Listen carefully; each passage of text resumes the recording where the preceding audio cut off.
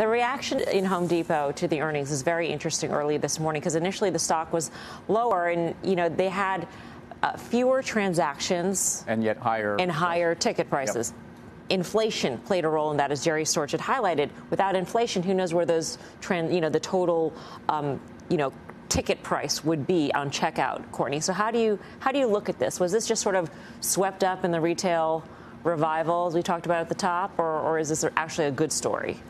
Well, I think what you have to look at, right, is this is backwards looking, and clearly inflation has been a problem, right? We're looking at peak inflation, and yes, people are having to spend less at Home Depot because things are costing more. But if commodity prices are coming down, that's ultimately going to help demand towards Home Depot. And I do think a soft housing market, which is likely going to continue at least for the near term, is actually positive for Home Depot because these are going to help people who are already locked into these lower interest rates aren't going to be looking to jump into new houses, which are now priced so much higher. So yes, they're going to be spending more at Home Depot. Plus, you have all the pro sales there. So I think this is actually longer term a good story for Home Depot.